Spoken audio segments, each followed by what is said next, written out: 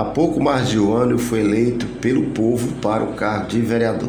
De lá para cá aconteceu diversos desafios, ações e avanços em várias áreas. Tive muito requerimento aprovado e atendido, entre eles na educação. Duas escolas foram totalmente reformadas e reinauguradas. A Escola Municipal Conquista da Lagoa, a Escola Nossa Senhora de Fátima, no assentamento Macaú, através de requerimento que eu apresentei na Câmara essa reforma da nossa escola Conquista da Lagoa, que é onde trouxe muita melhoria para a nossa comunidade, aos nossos alunos, trouxe também dois banheiros, masculino e feminino, com acessibilidade, as duas rampas com acessibilidade também. Melhorou muito para nós funcionários, para nós alunos. Com recurso próprio da Câmara, um veículo foi adquirido para facilitar e promover ainda mais eficiência e qualidade do serviço prestado pelo Poder Legislativo deste município.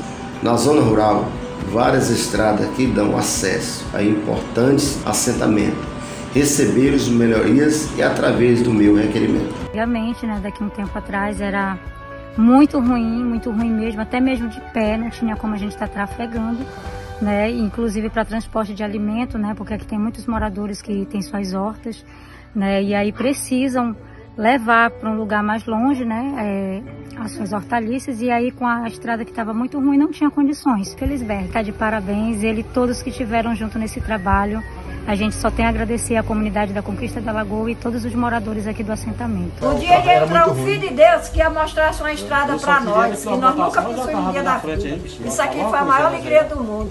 E o senhor vai ser feliz, entendeu? O senhor vai ser feliz. No esporte apoiamos várias competições, pois sei a importância que tem na vida dos atletas.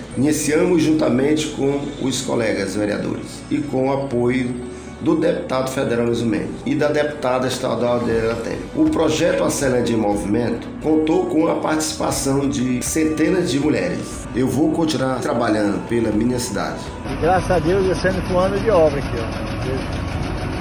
Na região, área aqui todinha, do nosso assentamento aqui, todo o segredo da foi muito bem feito, muito bom. Nosso amigo aí nosso presidente da Câmara está junto com a gente direto, graças a Deus. O prefeito está trabalhando bem aqui, estamos satisfeitos. Esse ano não temos dificuldade de escoamento, não. Agradeço os meus colegas vereadores e o prefeito Aloysio e o secretário pela parceria que tem rendido grandes frutos.